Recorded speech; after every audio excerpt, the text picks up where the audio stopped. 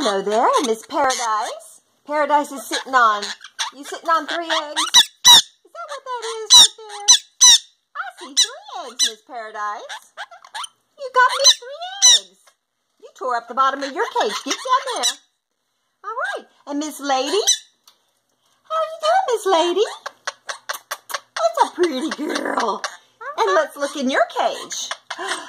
Paradise. Uh-huh. Miss Lady, you got two eggs in there. What you got two eggs in there for? Look at that. That's a pretty girl, Miss Lady. You got two eggs too? Well, that's good girl. I got two birds. Paradise is laying on three eggs. And Miss Lady doesn't know what to do with her two eggs.